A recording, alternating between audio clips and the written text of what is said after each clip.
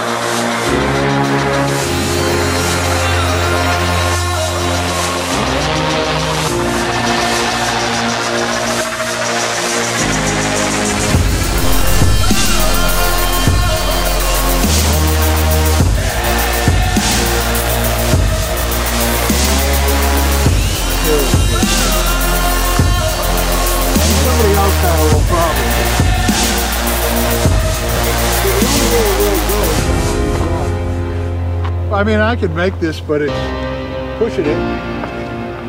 And like I said, again, it's not really going to save us that much. Well, if, you, if that's the truth, you know, if it's going to save us a mile or something to try it, But I don't see it. I don't see it saving us a mile.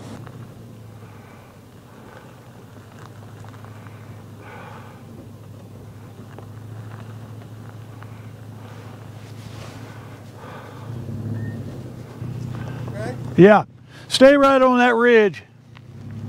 The reward's not worth the, you know, that's the thing. It's not, if, if, if it was going to keep us from walking a mile, like you said, that'd be one thing, but it's not. Not only the softer ride, it's the bigger footprint. Yeah, you could definitely see it had a big footprint. So, Patchy, it could be in this mountain here, too. so that's the thing. You don't know that because you can't trust his little map. No, And so when we're on the top, we need to be looking at that ridge over there as well. right. And see, because I know there's ruins up there. There's a big pile of rocks there. That. Yes, I mean, it, for the basalt. Basalt. the bath salts, as I like to call it. Oh my God, this is a vast area. That's what these guys spend. They camp here.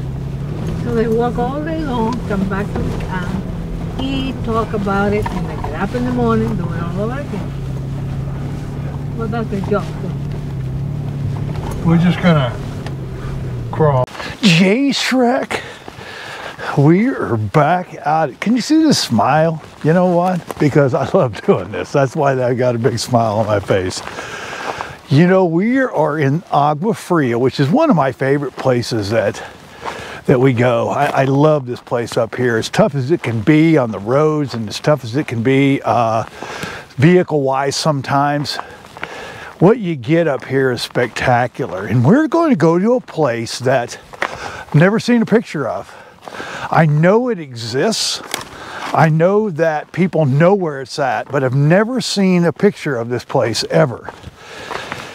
It is the Ala Negra cave or you know i don't think it's actually a cave. I just think it's a rock overhang but uh, they excavated this place. So ala negra from what i understand means black pot.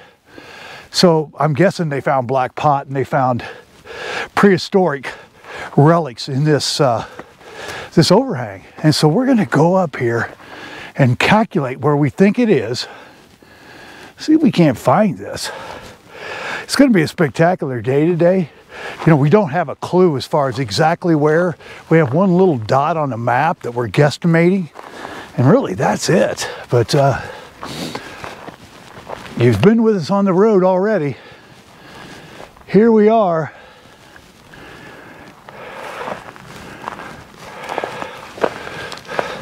Man, I hope you guys are ready for the journey today because it's going to be unbelievable. Uh, this is just such a spectacular place. We decided to start on the top and work across the, uh, the ridge line instead of going to the bottom and then working through. So see how that works for us. Here's the what we're hiking. This isn't bad. This is give us some space, but uh, Fria is known to be pretty brutal hiking. This is definitely not part of it, but uh, usually you have to sacrifice a pair of uh, socks up here. So if you got gaiters, wear them because they have a tendency to get on your socks, these weeds. Look how we're coming up. So we're parked right there.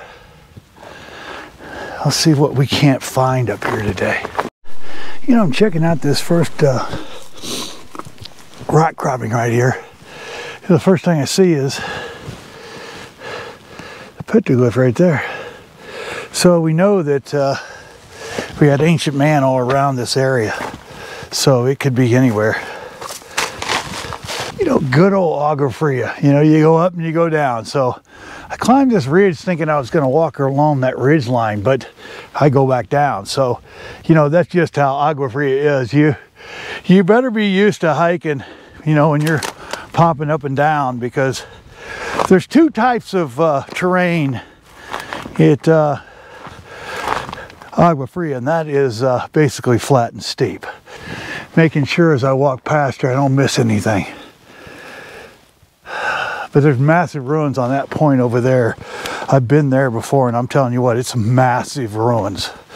So this entire area was just covered with uh, with ancients throughout the last thousand years. You know, the funny thing about this area is that, you know, you're looking at about 1300 years. So there was about a lot of different areas, you know, whether it be pre-classic or post-classic, where basically it was 700 to 1000, 1050, 1050 to 1150, 1250 to basically 14. So they had different areas that they would, uh, you know, the, the original people here would, uh, would stay mainly in the valley and uh, work off the river that was below. And then as the time came on, uh, they, they would evolve into being up on these mesas. And uh, the, uh, the tradition, as they call it, because there were multi-cultures here when they built these pueblos, you know, evolved up on these mesas. And it's very a complex area. Really is intriguing as you look around There have been a major structure there and there is major ruins right on this peak over here. So this place is really an intriguing place. Today is a, a needle in a haystack, definitely. So, you know, just like Agua Fria though, you go up one hill, you go back down another one because we're getting ready to head back up that ridge. You know, even though I'm not expecting uh, it to be on this side, you know, you have to check everything. The last thing you want to do is walk by it. And uh, definitely animals. If you get a chance to have a cow blaze the trail for you, you'd be, uh, you do yourself a favor if you take advantage of it. You know, on, on a journey like this, with no coordinates and going off a rudimentary rat, rudimentary, is that even a word? Map, you never know and you just can't give up. Today's just a matter of A, being lucky, and B, having the uh, determination and the fortitude not to give up till we find it. So that's the goal. So if you look at that ridge line right there, we have ruins there, we have ruins here, we have ruins along this ridge line right here. Now the other thought process is it in this ridge line right here? And you know, if it's all said and done, I can't find it, that would be. So the first area we thought, there's cows down there. First area we thought it could be is on that ridge line right there. I don't see anything. Second place we thought it could possibly be would be on this ridge line, on the back side of that ridge line. So, you know, the funny thing is you get out here and it didn't look that bad, but I'll tell you what, there's a lot of space to cover. What I think I'll do is I'll walk that mountain and then check that side and then come back in here. I don't see anything right at this moment. It's giving me any indication where this is at. So I'm not seeing anything if you look at what I'm seeing. Not seeing anything that's giving me the thought process that I see any type of rock structures that look like it possibly could be it. Hope you guys, you know, hope you're having fun. You know, a lot of times it is about the uh, the journey and the people that you're with and coming out here and just experiencing the, the outdoors and experience being out here on these journeys and these adventures. But you know, when you when you have a goal, you know, you want to make sure you, you achieve your goal. Now we don't even know what we're expecting to find on this rock shelter, other than the fact it was excavated. Now they would not have taken the time to excavate it if they wouldn't have found value in it. Because most places out here really haven't been studied like you would think they would be. Know, I'm looking down here, look at the amount of debris that's been pushed out of that hole. Now, that's not a rock outcropping, I don't believe, but definitely there is an animal in that, for sure. You know, I'm up here by myself. It got really quiet. Man, this is about the fourth time I've heard something like behind me, and uh, I haven't seen anything. And so, what I'm thinking about doing is being prepared and see if I'm being tracked up here by something. Uh, you know, that don't happen much. And I'm in a pretty wide open area. It's not like somebody, you know, I'm not in the woods where something could be around the next uh, area. But, well, I tell you what, I have, it's about the third time now I've heard something like behind me. And uh, so I've got my plan. In case you've seen the uh, the mountain lion video of the guy. Uh, so I've got my plan, and I hope it's a good one. In case we got, but you know, I I got good distances, so it's not like I can't see something coming. You know. Now, the car's past that ridge there. Look at look at this side here. Now, what I'm told is that what I'm looking for, if it stays true, is somewhere over in here. I see a bird up on top of that uh, ridge right there. That'd be an interesting thought that if he possibly could be up there. Definitely. Wouldn't that be an interesting? You know, it's believed that the tradition, when they built basically pueblos, that, you know, this vast mesa that you're seeing right there, you know, there was actually different cultures. And that's why they call this a tradition, is because they do believe that there was multiple, you know, cultures up here that were probably getting along because they had to survive. So they banded together and they know that because of the uh, the shards. You know, they know the different shards, which basically tells you different cultures and different times. And so that those shards are important, and that's one of the reasons you should leave them alone. Look at them and everything, but leave them there so when they're doing the studies, they can tell you know what cultures maybe what trade routes you know uh, it's kind of like turquoise, you know, they, they can tell turquoise from the mine it came out of because each one's unique. You know, uh, shards are kind of similar, a little more broader, but they can tell the cultures and the time that they were made. And the interesting thing about up here is they they found these different shards that would be representative of different cultures in different areas of the pueblos that were built up here. I've definitely put in enough distance to get to see it, to have the right to see it, I guess you could say. it Doesn't mean I will, but I feel like I have the right to see it. And uh, now I'm trying to put together geology and geography. So what's my history of finding rock shelters? What kind of areas were they in? You know, what is my experience with that? And usually there's some type of flat area at the top of a mountain, normally, that, from my experience. Uh, there's not really mountains up here, but so now I'm looking at the fact that I have done what I think the map would say, and I think I've definitely went far enough that uh, I've got to that point. So now it's a matter of, you know, where, where do I see something in the rocks that would give me an idea that that uh, Mother Nature would have put some type of rock cropping because I'm not seeing anything in this area that, that even comes close to that. You know, the only two places look semi-promising would be maybe in that ridge and maybe in those ridges. You know, I'm not sure if that's uh, man-made or not right there. Or that even that stack of rocks. You know, only in Arizona can you be out here like I am.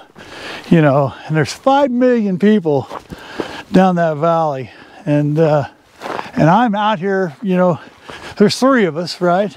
But like right now, I'm probably a couple miles away from anybody out here in the desert, the high desert, uh, by myself on this journey with just you guys. Man, how many places can you be like that? Again, five million people, and uh, and here we are. Isn't that incredible? The hocus, there we go. We rolled it, rolled it a little bit right there. Are doing extremely well right now. The only thing I didn't want to do, ow, ow, ow. Wow, that hurt.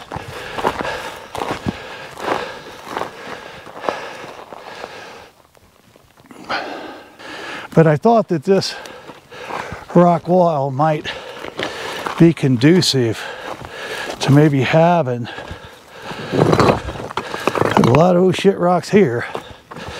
Something. I don't see anything in there. Just giving me any idea or any inkling there could be something back in there. These rocks do look worn. Like people have been climbing on them. That rock was not going to be friendly. Either that one. I don't see anything over here. That sucks. That sucks. Bad. After all this climbing, there's nothing in here. Well, this was not conducive to a rock shelter at all. Something's laid down there. Wow. See, this grass up here is slick as shit. So, again, I'm not far from the bottom, but I kind of wanted to look over there to those rock areas over there. Now, boy, there's a lot of debris.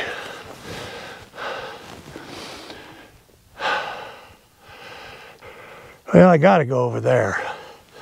I mean, I have to. Be crazy not to. You're all, you're all the way over here.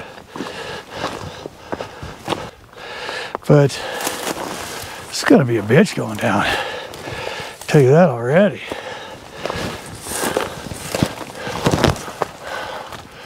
We gotta check in there though. Man, if it was in there and I walked by it, I would be so pissed off. It's not even funny.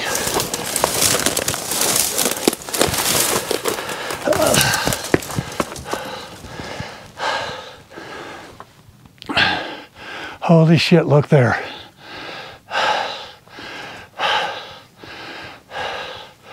Okay, that changes everything. Oh my God.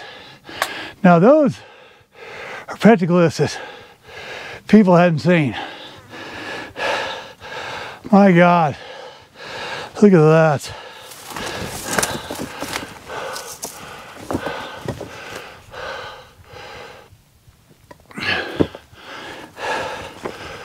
Look there. Those are incredible. There's something pecked at right there. Okay, so are we in the area?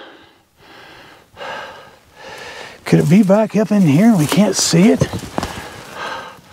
See nothing in there than flies. Oh shit. Oh shit, that was scary. So Man, is it stuck in there and covered? They definitely got up in there.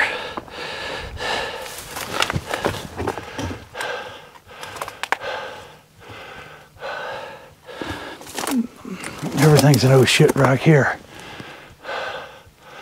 Look at that though.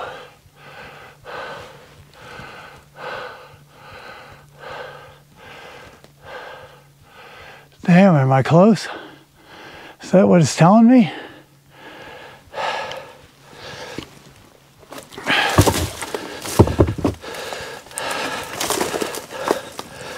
Oh, did I need to get into that?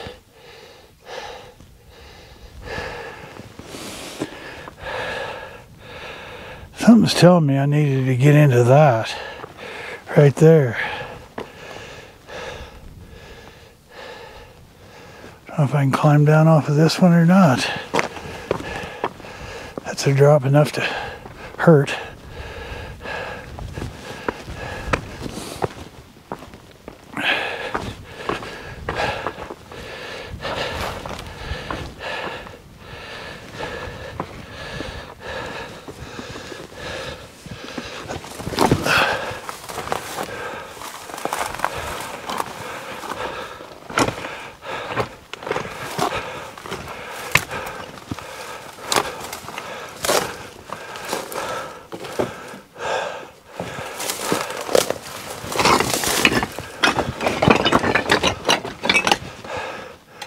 That wasn't in there. Dang it.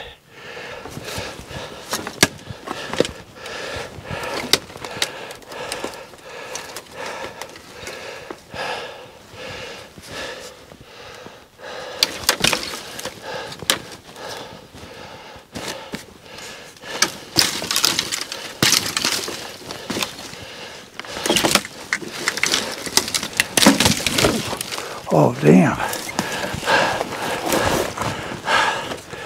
I tell you what.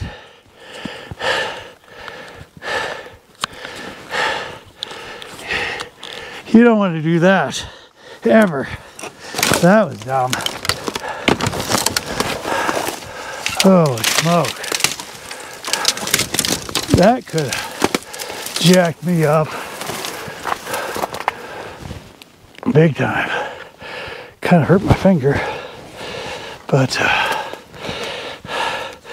I still put myself in this predicament of coming down right here, which is uh, not going to be easy. Man, that hurt. I know better than that, and uh, I didn't do better than that though, but I know better than that. So, we'll go to there. We'll go down that hill. You know, the bitch is, I think I'm close. I wanted to work over here. And then this is the farthest point east I'm gonna go today. And then we're gonna work back. The kind of rock structures I'm seeing. And potentially there could be something in these areas. It kind of be what we're looking for.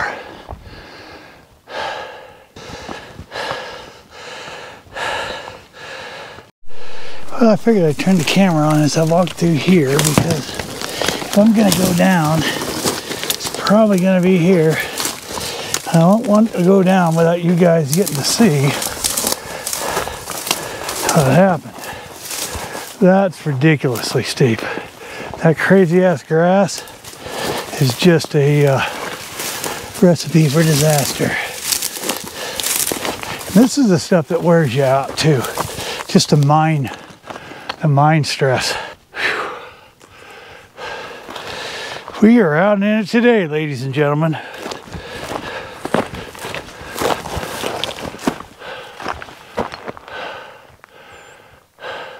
Man, I'll tell you, I am whooped. I am absolutely whooped today. I don't see anything that's giving me an indication I'm in the right place. Even though I kind of like these structures.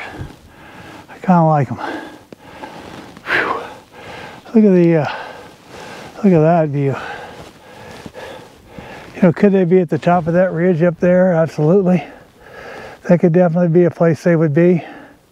It's up there. All you can kind of do is either find somebody that knows where it's at or uh, keep rocking.